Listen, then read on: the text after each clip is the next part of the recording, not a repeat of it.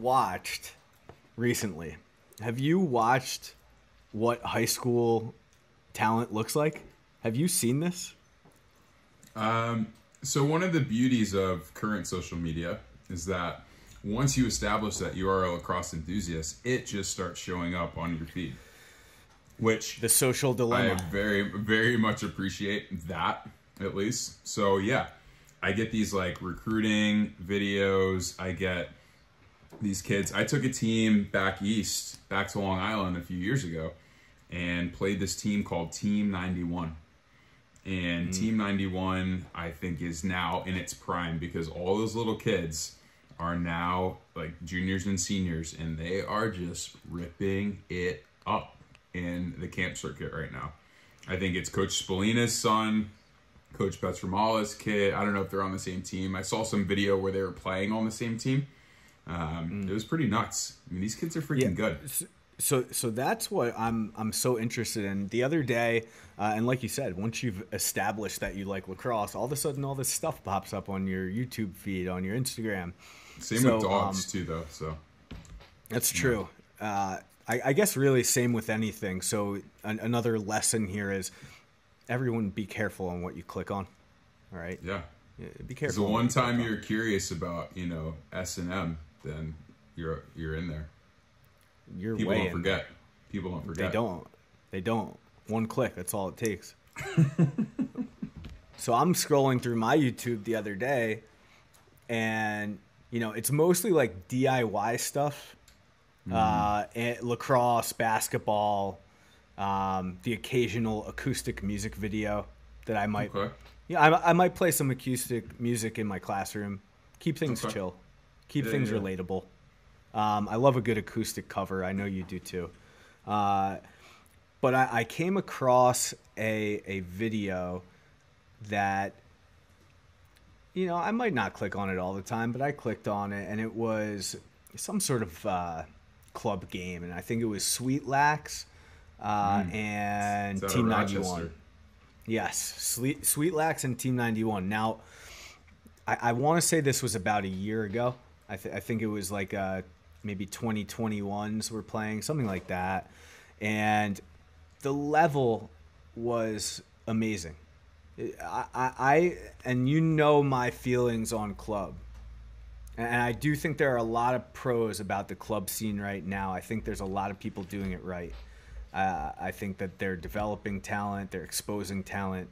Um, there's certainly something to be said about a club team and what they can put on the field and what that does for kids uh, that age and making them stretch their boundaries of what they are as players, right? Especially So if they're not they're- coming from a strong high school team. a hundred percent. What was interesting about the Sweet Lax team was uh, they had kids from Rochester and Florida, and uh, obviously that Tampa. seems kind of There's a Rochester Tampa connection there. Right. So what what the announcers had explained was uh, some of the folks in the Sweet Lax club uh, hierarchy moved down to Florida and started a, a a chapter down there. So then they just combined their team for tournament circuits. Sweeter And- Lax, I think it's called. Sweet, I think it's sweetener, like Sweet. like equal, or uh, it might. I don't know. It might be. I don't know. Stay for the puns, people. Stay for the puns. They come for the lacrosse. They stay for the puns. um, Well, you know what's interesting level- though about Sweet Lax? I'm Tell not going to toot our horns, but I am going to toot our horns. Is that you know we have a hand in Sweet Lax's success. I'm not following you on this. So, for listeners out there, Jordan and I went attended Nazareth College. We played lacrosse there. And Nazareth is in Rochester, New York. And at Nazareth, every summer while we were in school, was the biggest camp around, right? 400 kids at Nazareth Lacrosse Camp. And there was a program that was particularly present, and it's located in Victor, New York. Victor, mm. New York. It's Yes. just outside of Rochester, right on the throughway. In Victor, New York, as we were working Nazareth Lacrosse Camp, we'd see these youth kids come in, and they just had numbers upon numbers upon numbers. and we are like, these kids are going to be good someday. And they were, I mean, they were six years old, seven years old, eight years old to 10. And all of a sudden, in the last five years, they started winning state championships. They're beating Ward Melville. They're, you know, one of the best teams in the country. And a lot of those kids are playing for Sweetlax. And we coached them when we were in college. So you're welcome, okay. Sweetlax. Yeah, I did not put that together. Um, shout out Flea City. I'm sure a lot of those kids were in in the Flea group, which I uh, I was an instrumental part of the the youngest crew in the Nazareth lacrosse camp. Um, shout out Reardon, TD yeah. Like these are names people know. Came through. Yeah, camp. you're right. You're right. And shout out shout out Coach Randall for making me do that even though I didn't want to. So thank you, Coach, for that. Uh, even though I requested to get out of Flea City four years in a row, and he said no every single time. So yeah. thank you, Coach. You're the best. Um, so at any rate, the, these two teams watching them play, I don't know that Instagram, those short little 30 second clips, by the way, hate TikTok, love Reels. Mm, I love why? Reels. Why? Why do I why do I love what's Reels? The what's the difference? Um I don't know, I'm old and I don't want to download another app. I think that's probably the biggest difference. That's probably it. That's right? real talk. Uh, that's real talk. That's real talk. I mean, and, and Shawnee, Shawnee will tell you, I hate TikTok. I think it's ridiculous. I think it, it but Never at the same time, it well, you don't need to. And I wouldn't have gone on it unless Shawnee put me onto it. And I told him from the jump, it's not for me. Do I get why kids like it? Yes. Does it ruin 90% of my classes at this point? Yes. Because kids are in class doing TikToks, like all the dance moves. First of mm. all, half of them half of them aren't very good dancers. I would never say that to them. That's what They're I was going to ask. Is TikTok increasing the number of of non-black kids with rhythm? Is there a direct relationship there? Because I don't know so, that tic- I might be for it. You know, I, I don't know that TikTok.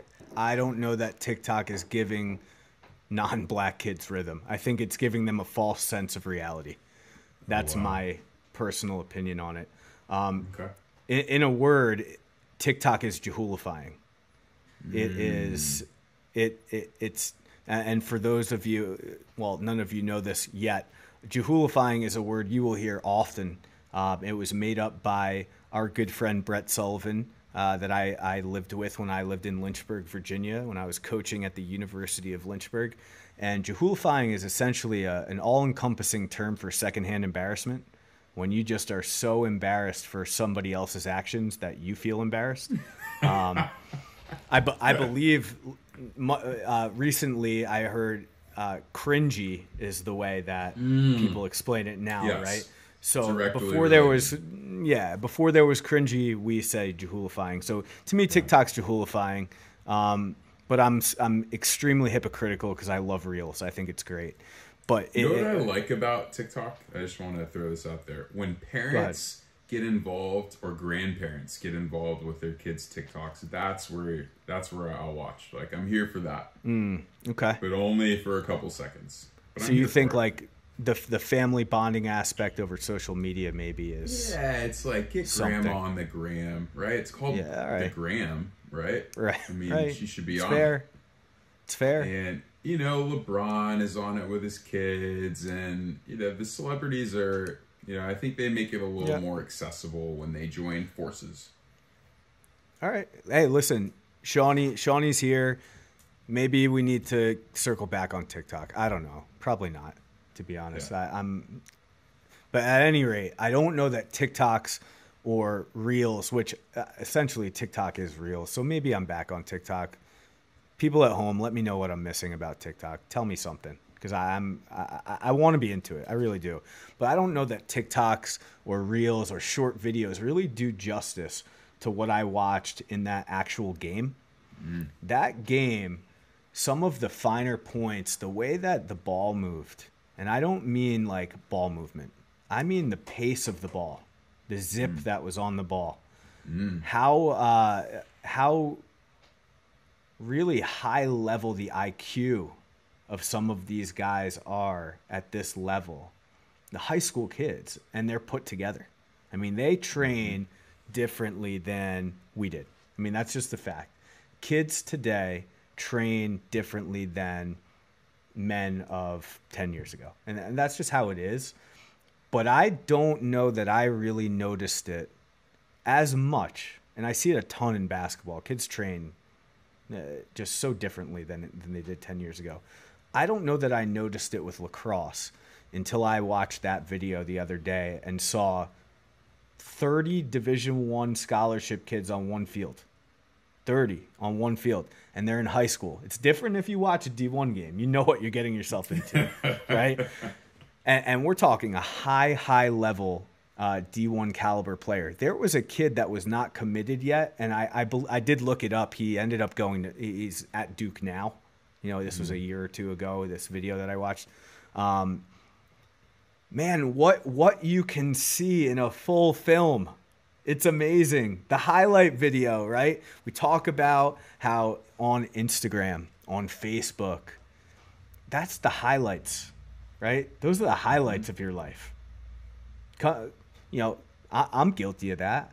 I show all the cutest pictures of my daughter, all the fun trips that we take when we were allowed to travel, right? I, I do only I, I don't do throwbacks of dirty diapers right? Mm, I don't do yeah. I don't do any of the bad stuff. The highlights are only going to show you the best stuff.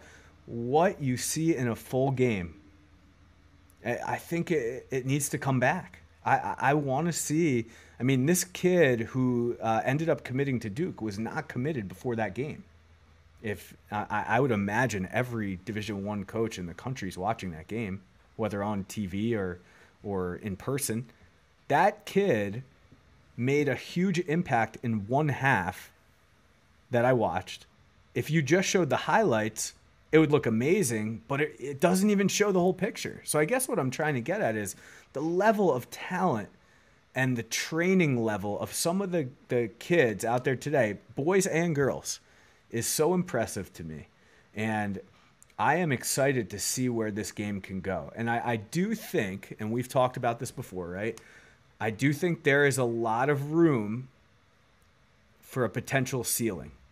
And we'll get into that another time. I still think there are, uh, the training is great, the level is great.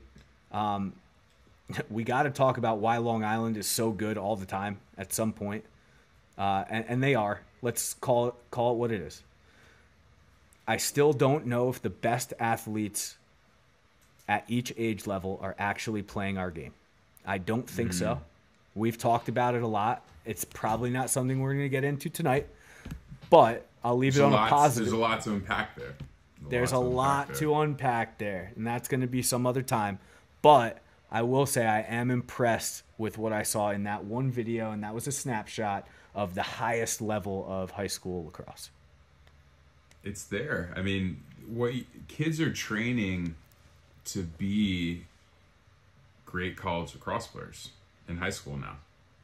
And that's as somebody who came from a non-traditional area and moved back to a non-traditional area and I'm in another non-traditional area.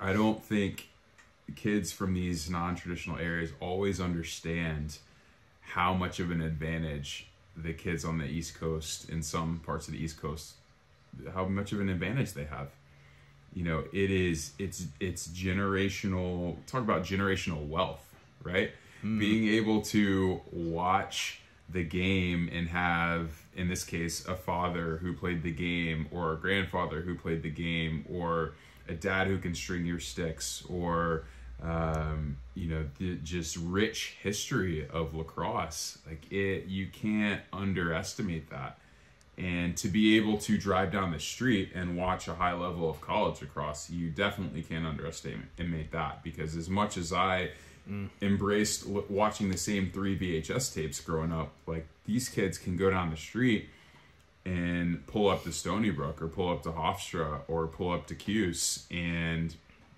that's that is their point of reference for the game versus you know whatever high school or they don't even have to go to college games. You go to high school games, the level's so high. I mean, it might as well no be a, a, college game. No, no question about that. And I think in Long Island, you're gonna find a lot. You know, you could go to a handful of high school games in a weekend and find really high level and something to look at and say, yeah, I want to do that, right? Um, and you have colleges in Long Island that you can go watch. So you have a lot there. Uh, I, I, feel like in Westchester, that's still true too, uh, to a degree. Um, I think there's more parity in Westchester than there's been. Where I grew up, uh, if you want to go watch a good lacrosse game on a weekend, you could at, at a high school level, or you could go to uh, you know you could you could go to a division one game at fairfield or you could go to a division one game at st john's. You know you could go to some of those places and watch high level lacrosse.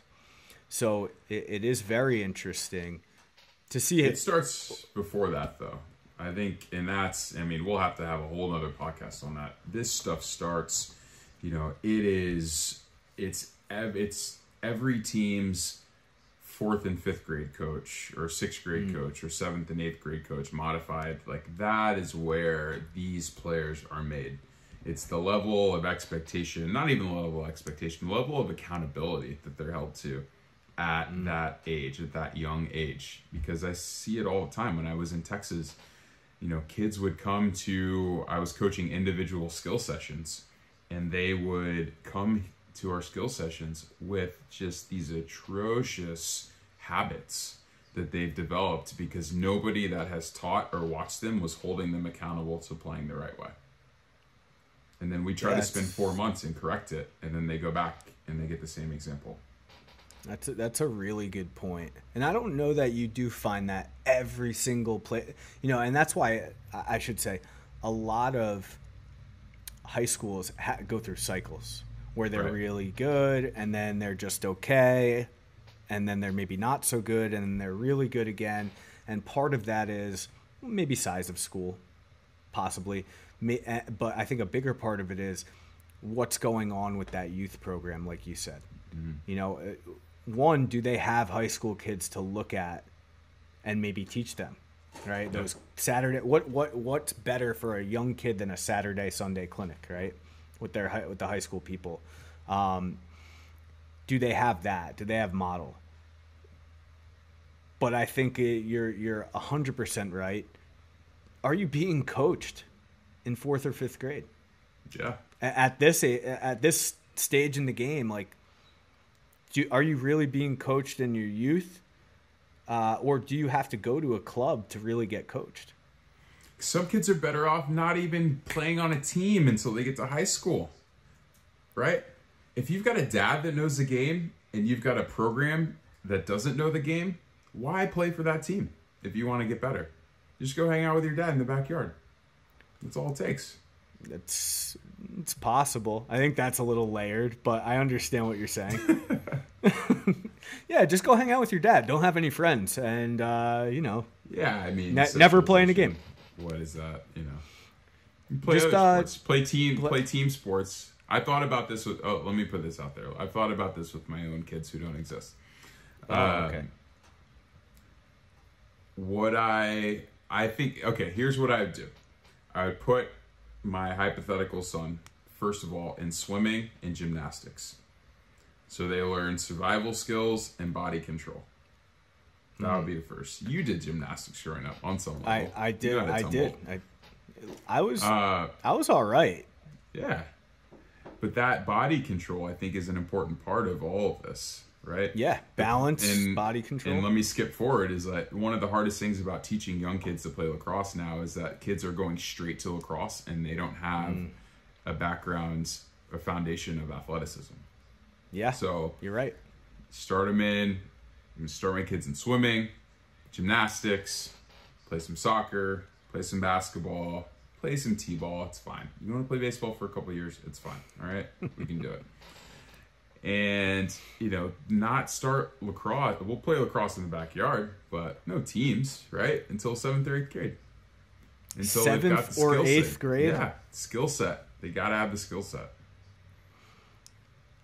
All right, so I want to hear into uh, athleticism.